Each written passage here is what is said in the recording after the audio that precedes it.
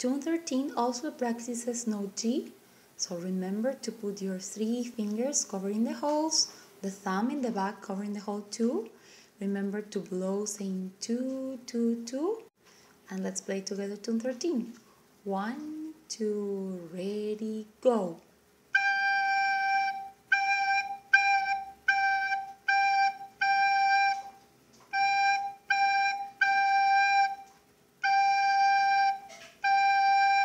Let's take a look at the music sheet. One, two, ready, go.